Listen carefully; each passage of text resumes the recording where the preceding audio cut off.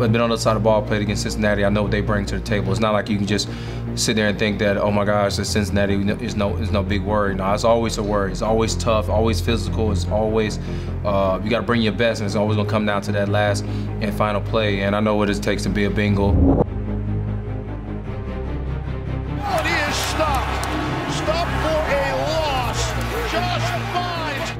Because you know you got to represent not only the name on your back, but also the team in the front. And uh, and there's just no no better joy in doing that on every Sunday. Oh wow, my journey 10 years ago, right?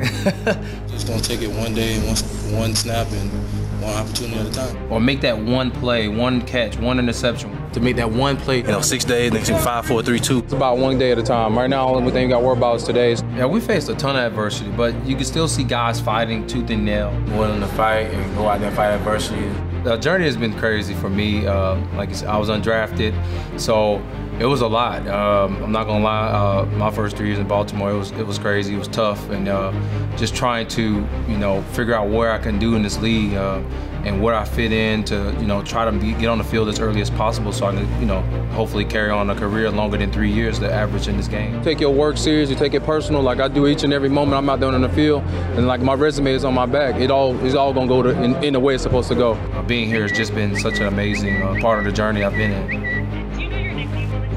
What's what's my nickname? oh, Coach Mike. yeah, they the guys like calling me that. he's he's like a walking football library. He's he's so smart. He is the smartest player I've ever been around personally. He knows so much football.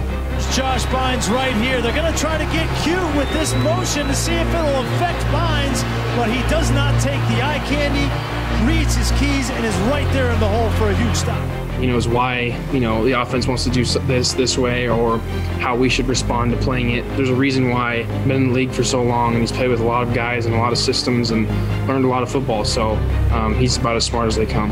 Been around this game for a long time, so I've seen a lot of formations and seen a lot of things. So uh, I just try to when I go on the field, I try to slow it down for myself and even for the players around me. So I get them to play fast and make plays because at the end of the day, this game is about um, all 11 of us. It's not about just me harboring and uh, harboring all this information in and just being selfish with it.